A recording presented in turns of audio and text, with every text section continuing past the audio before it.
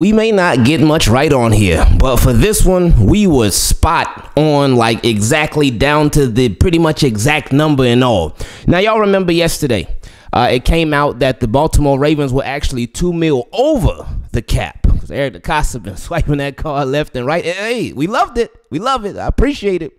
Um, but the Ravens, as of yesterday, they had to get under the cap uh, by midnight yesterday. So there were some moves that had to be made. We knew that there was going to be some kind of restructure coming. Now, what we said in the video yesterday, we said the first people they always go to, Marlon Humphrey and Ronnie Stanley. And we said they might go to Lamar Jackson too, but we talked about Marlon Humphrey being one of the first people they go to. Who they go to? Marlon Humphrey.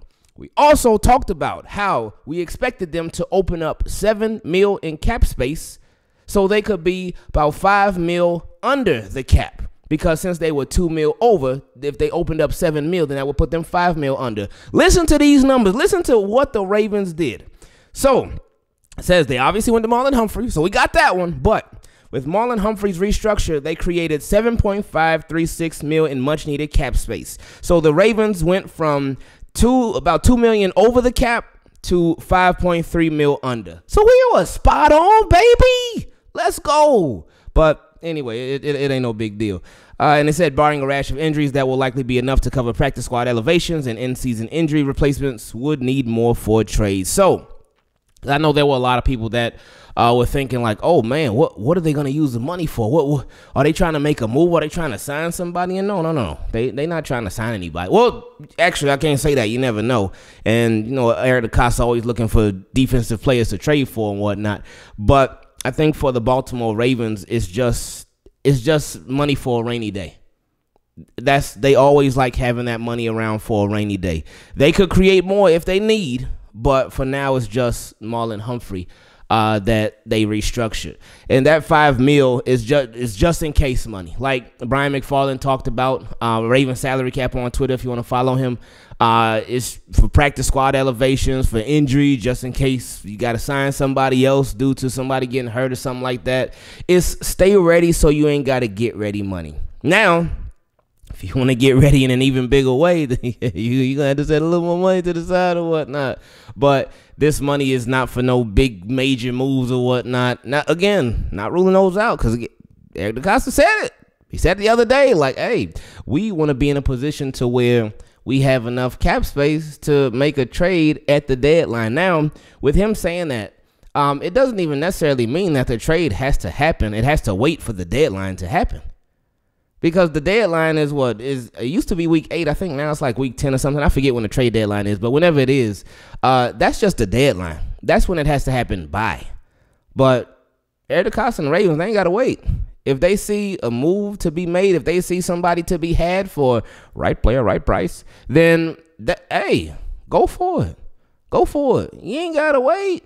Now with the trade deadline though, um, as the deadline approaches and, and you get closer to it, and if a team really wants to move off a player, then that deadline could actually help you because that deadline could possibly lower the asking price for whoever that said player may be. Uh, because teams would be like, man, we want to really want to get off this player. We want to come off of this player. We really want to move him, but we ain't got no takers right now. You know what? Let's come down on our asking price. So that could help you out. But at the same time, deadlines they spark action. And with deadlines, it could have a lot of other teams interested in that said player. And that could spark them to actively be like, you know what, let's raise our offer. Let's raise our offer because we competing with these other teams for this said player. Let's increase our offer. So it could also make it worse. So it's it's all just a big gamble. Uh, it, it, it, that's all it is really with trades because you never know how stuff is going to work out. You never know if teams are going to end up being hot on this player once they find out that you're interested in him.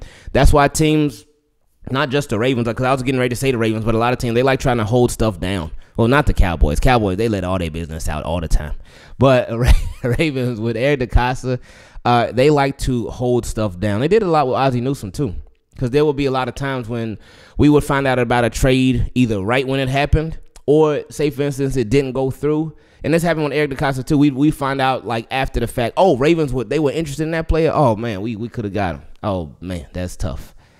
So that was uh that's it. So with, with Marlon Humphrey, shout out to him for uh, always always being ready. like Mar- again, Marlon Humphrey, he and again he's not losing money now because I know there was somebody who thought that um they put in the comment section when we mentioned Lamar Jackson as a possible candidate that they could go to to restructure. They were like, hold on, if if, if Lamar uh, if EDC asked Lamar to take a pay cut, you might look at him kind of funny. Like, no, no, no, it's not a it's not a pay cut. It's not a pay cut at all. They're just moving money around. They're restructuring the deal in a different way.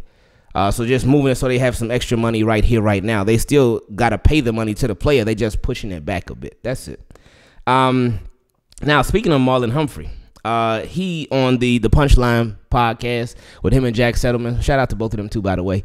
Uh, he listed his top five cornerbacks in the NFL, and I thought this was interesting because two of these guys could have been his teammate and almost were his teammate. And one of them, a lot of Ravens fans have been hoping becomes his teammate. So, uh, Marlon Humphrey, top five cornerbacks, uh, is, and you know what? I appreciated his humility because he did not list himself.